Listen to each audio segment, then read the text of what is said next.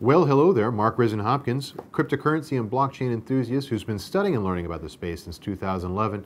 Today we're going to talk about how to add an ERC20 token to your cryptocurrency wallet. You may find yourself in this situation where you've invested in an ICO or you've bought some tokens from somebody and you gave them an Ethereum address a while back and those tokens never seem to show up.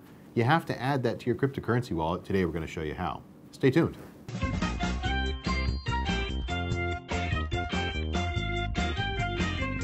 So maybe you signed up for some tokens on an Ethereum uh, ICO or someone sent them to you. We're going to show you how to pull those into your wallet because they don't just pop up automatically even though they're connected to the existing Ethereum address that you've already handed out.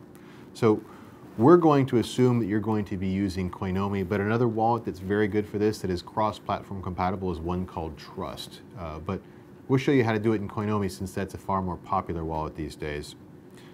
The first thing you're going to want to do is you're actually going to want to pull up your mobile browser and go to etherscan.io. It's the blockchain explorer for Ethereum.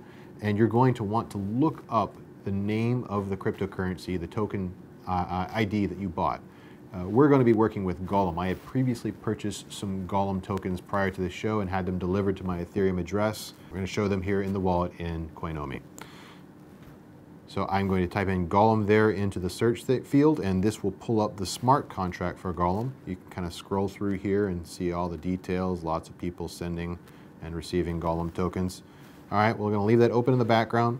I'm going to switch back over to Coinomi. Now, the instructions for this will differ a little bit varying uh, depending on your uh, installation of Coinomi. I'm going to go to give you the instructions for the most recent version. Uh, but in older versions, you will need to add a few steps to this process, which I'll explain as we go through. So I hit the hamburger menu in the upper left-hand corner. We're going to go into the tokens area. From here, you're going to select which Ethereum wallet you're going to add it to. So I have two Ethereum wallets here, one for a, a buddy of mine named Caleb, and one is my main Ethereum wallet. That's the one we're working on. Now, many of the Ethereum, as you can see, there's hundreds and hundreds of Ethereum tokens here. Uh, the one that we're going to add uh, actually probably is on the list, but we're going to pretend like it isn't, and we're going to click the not in this list, add manually. So this is where you're going to need to switch back and forth between that screen that we had open earlier. So it's going to ask first for the contact address, or the contract address.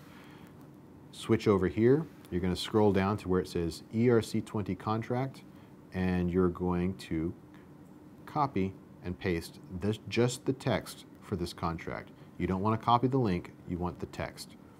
We'll switch back over here, paste that in. Now the next thing, we could copy and paste the name, but we know the name. The name of this contract is Golem. So we can just type that in. The symbol is GNT for Golem. So we're going to type that in. And then we'll go back to the contract because it's going to want to know how many decimals are in this contract. What that means is how many places past the decimal point can this token be subdivided into. Golem has a particularly high one. It is 18. Many sort of default to 8 these days, but uh, 18 for Golem. We're going to slap that in there. 18, hit Add Contract. And now we, this is the screen that you will see after you've added Golem in. So I have added Golem. If you go over here back to the hamburger menu, you can see my Veri tokens are listed and now my Golem tokens are listed. So I'll just tap over on Golem and you can see that I have received 130 uh, Golem tokens uh, from an earlier transaction that was not previously showing up until I added the token in. Now it's here. Now you know how to access your tokens. Hope that helps. Well, there you have it, your blockchain and cryptocurrency prescription. As always, these are just my thoughts and I encourage you to seek out a second opinion. Subscribe for more videos on blockchain and cryptocurrency and if you enjoyed today's video, share it with a friend so they can see. Thanks for watching and don't forget to see the receptionist on your way out.